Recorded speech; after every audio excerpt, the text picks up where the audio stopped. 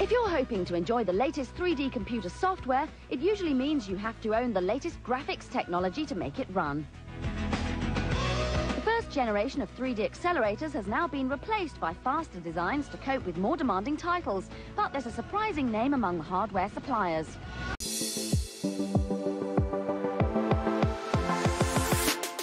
Cześć, z tej strony Retro Gaming Laptop, a dziś opowiemy sobie o pierwszym akceleratorze graficznym firmy Intel, a mianowicie Intel 740.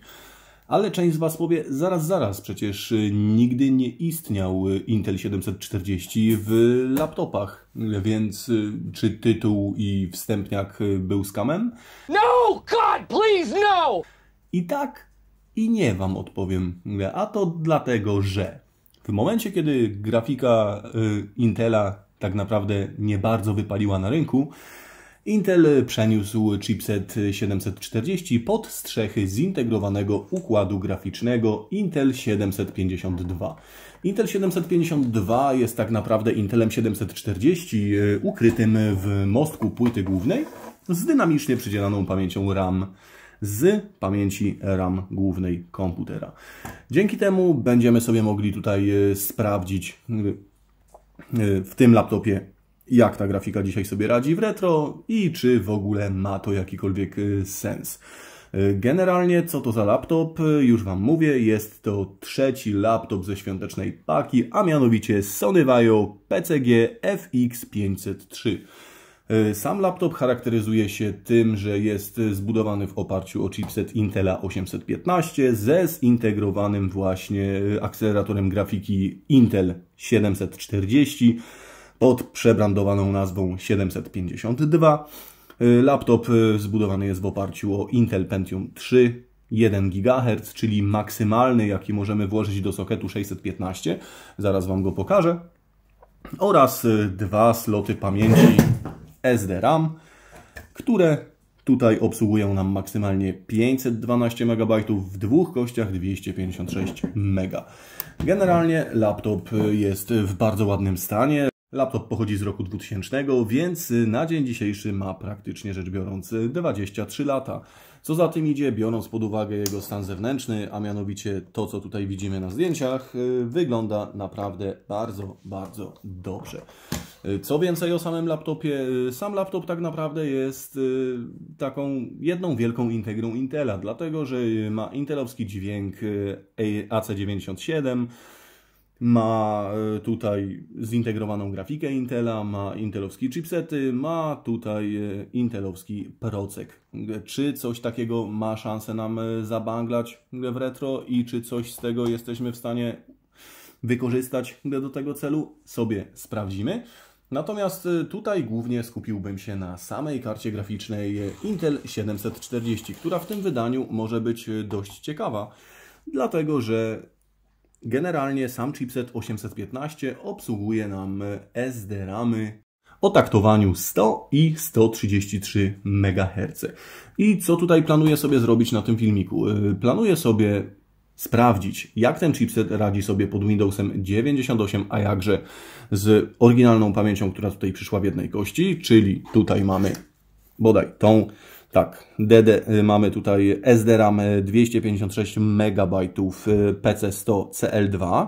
Jest to pamięć synchroniczna, która jest y, wydajniejsza w tych zastosowaniach aniżeli asynchroniczna. Synchroniczność i asynchroniczność polega w tym przypadku na tym, że kości są obsadzone albo z jednej, albo z obu stron, w tym przypadku z obu.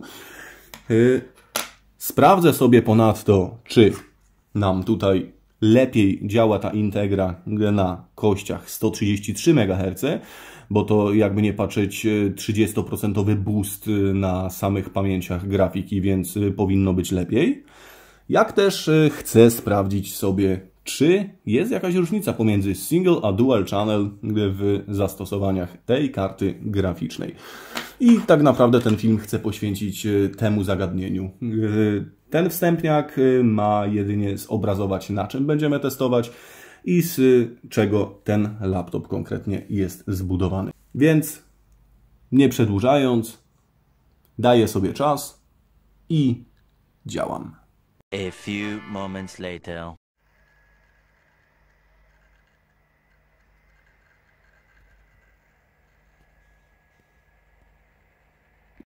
Hours later.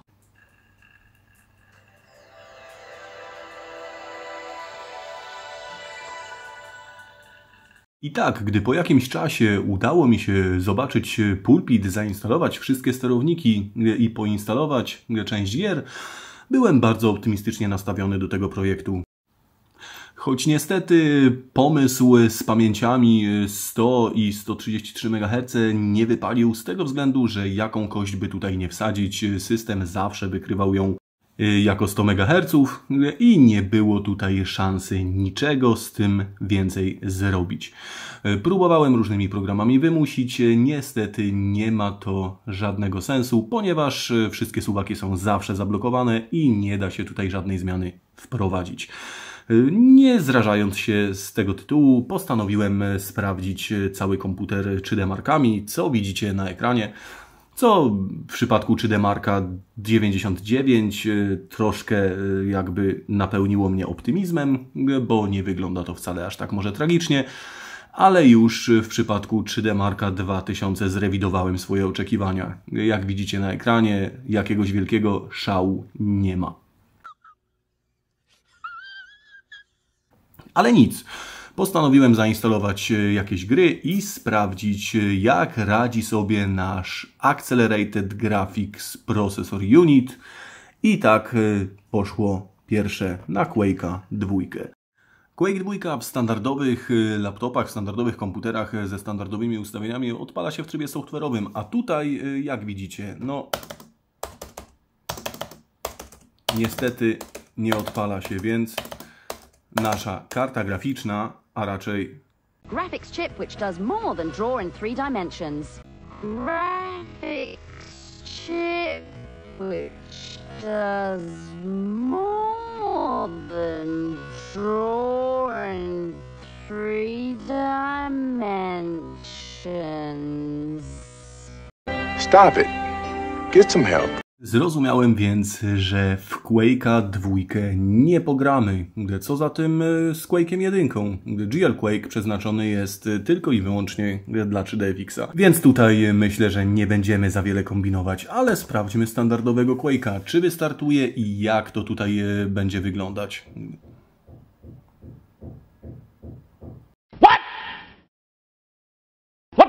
Niezrażony próbami uruchomienia Quake'ów pod Windowsem, postanowiłem uruchomić jedynkę pod DOSem. Oczywiście stała tutaj bez jakichś większych problemów, ale zrozumiałem, że mamy jeszcze jeden problem, a mianowicie w żaden sposób nie można wymusić skalowania rozdzielczości na pełny ekran. Z czym to się wiąże? Ano, wiąże się to z tym, że tak naprawdę mamy tutaj do wyboru dwie rozdzielczości, w których będziemy sobie mogli pograć na pełnym ekranie. Pierwszą z nich jest y, natywna rozdzielczość y, tego ekranu, której nie możemy wybrać. A drugą z nich y, jest rozdzielczość połowiczna tego ekranu, czyli 512 na 384, której również o zgrozo nie możemy wybrać. Maksymalna rozdzielczość, jaka tutaj może być zapodana pod DOSem, jest 360 na 480 według tego komputera i wygląda to tak. Nie ma szału, oczywiście płynność jak najbardziej zachowana, ale no ja osobiście nie czerpałbym przyjemności z takiej gry. Ale nic, nie samym Quake'em człowiek żyje. Postanowiłem więc y, sprawdzić inne tytuły. Spróbujmy na przykład uruchomić taki tytuł jak Turok 2. I niestety, i to nie jest tak, że nie ma tych leveli, bo wszystko zostało zainstalowane z oryginalnej płyty i wszystko tutaj śmiga. Jakiś wewnętrzny błąd nie dopuszcza możliwości uruchomienia tego tytułu. Ale to nic. Nie samym Turokiem człowiek żyje. Spróbujmy Tomb Raidera 3.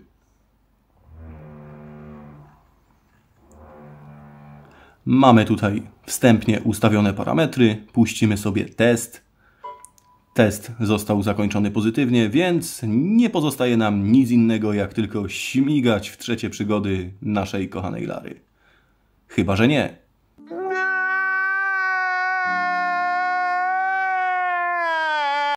Niestety, Tomb Raider również nie działa. Ale nic.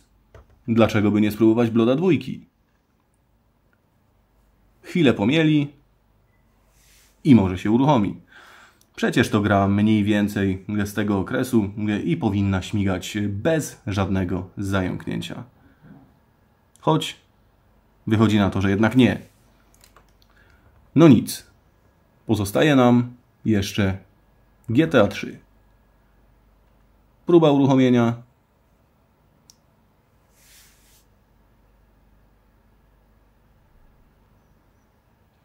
I po krótkiej chwili oczekiwania niestety chyba nic z tego nie będzie. A few moments later. Słuchajcie, sukces, nie ma tego złego. Po jakiejś chwili walki udało się uruchomić Turoka dwójkę w pełni akcelerowanego, bo to przecież jakby nie było. Graphics chip which does more than draw in three dimensions. No ale wydajność pozostawia nam tutaj chyba wiele do życzenia. Aczkolwiek może niekoniecznie. Spójrzmy jak szybko działa menu. Mam nadzieję, że choć w połowie tak szybko będzie działać sama gra. Rzućmy okiem na te piękne, płynne animacje. The Port of Adia. This once peaceful coastal village has.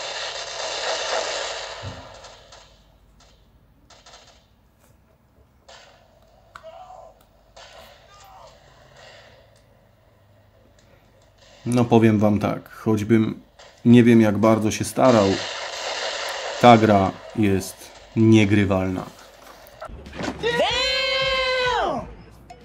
No i słuchajcie, po krótkiej walce, po obniżeniu detali do minimum i zjechaniu z rozdzielczością o jedną drugą, czyli do 512 na 384, no cóż, gra wygląda płynnie. Coś po drodze stało się z dźwiękiem. Natomiast na upartego dałoby się grać. Choć sama gra, szczerze powiedziawszy, wygląda dość paskudnie i okrojona ze wszystkich detali.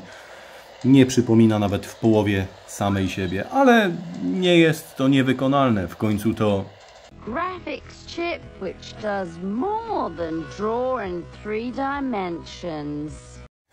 Dobrze, więc y, spróbujmy coś y, innego. Spróbujmy na przykład y, Nightmare Creatures. Jest to też mniej więcej gra z tego okresu i powinna tutaj bez większego problemu nam śmigać.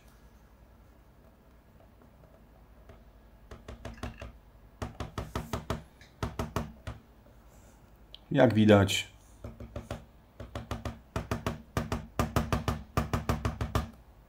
cóż, zawiesiła nam pulpit. No to może skoro nie GTA 3, to chociaż GTA 2. Powinno bez problemu chodzić. No cóż. Słuchajcie, no i niestety po wielu próbach do uruchomienia innych gier i to nie jest tak, że zainstalowałem pierwsze lepsze randomowe sterowniki y, i stwierdziłem, że jest ok, walczymy, ale naprawdę w pełni skonfigurowałem system operacyjny, spędziłem też y, sporo czasu na portalach internetowych jak Wogons czy inne dedykowane do tego typu sprzętom. I naprawdę nie da się wycisnąć więcej z tej grafiki, chyba że coś jeszcze po drodze pominąłem, a jeżeli tak, to poprawcie mnie w komentarzach. I okej, tą integrę, którą wypuszczał Intel, y, która była tak naprawdę farbowanym lisem y, zrobionym z akceleratora i740, nie była przeznaczona do gier, natomiast y, wydaje mi się, że na miarę swoich możliwości powinno sobie y, nie gorzej niż 740 radzić, a tutaj mamy jak widać. Y, Cóż, no, szczerze powiedziawszy, po latach sama konstrukcja, sam ten Sony Vaio jest bardzo moim zdaniem zmarnowanym potencjałem, dlatego że to jest bardzo fajny laptop. Ma dość y, spoko głośniki stereo, y, ma całkiem fajną, zwartą konstrukcję, ma napęd y, CD, ma napęd dyskietek. Jest bardzo fajnie zbudowany w środku, termika jest zrobiona ok. Sam wentylator procesora jest bardzo cichy i stonowany. Matrycy niewiele można zarzucić. Ładnie odwzorowuje tutaj 24-bitową głębię kolorów. I po latach, a mianowicie po 23, gdy ten laptop całkiem nieźle się trzyma. Niemniej jednak, no, grafika, która została w nim zastosowana, tak naprawdę pogrzebała go, jeżeli chodzi o jakiekolwiek retrogranie. Z tego względu, że nawet jeżeli gry będą działać, bo tak, część gier pod DOS sprawdziłem również i działa, nie pokazuję Wam, dlatego że tak naprawdę one działają na jednej trzeciej wielkości ekranu nie skalują się na pełny ekran, nie ma żadnej możliwości, żeby wymusić w tym laptopie skalowanie na pełny ekran i granie po pierwsze na takim małym okienku przy takiej dużej matrycy jest totalnie bez sensu. A po drugie, niestety dźwięk zastosowany w tym laptopie działa jedynie e, pod DOSem, e, jeżeli chodzi o sam dźwięk. Natomiast y, wszelkiego rodzaju muzyka, y, wszystko to, co y, potrzebuje syntezatora MIDI, nie działa. Próbowałem to tutaj ratować w jakiś sposób sterownikami zmodowanymi z Wogonsa, ale niestety nic tutaj nie dało rady. Więc y, tak, y, po latach, gdybyście mieli możliwość zakupu takiego Sony i stwierdzilibyście, że to bardzo ładny laptop, który mógłby Wam posłużyć do jakiejkolwiek retro rozgrywki, stanowczo odradzam. Jeżeli by tutaj Sony się pokusiło lata, lata temu wstecz i zastosowało choćby ATI M1 albo ATI M3, byłaby zupełnie inna bajka. Byłby to jeden z lepszych retro laptopów, jakie moglibyście sobie nabyć. Natomiast w związku z tym, że mamy tutaj akcelerator Intela, no niestety, pomimo tego, że na papierze wygląda to bardzo dobrze, to w realnym życiu wygląda jak widać. Więc y, tak, y, jaka alternatywa w takim razie dla takiego sprzętu, biorąc pod uwagę, że chcielibyście coś mniej więcej w tych samych parametrach?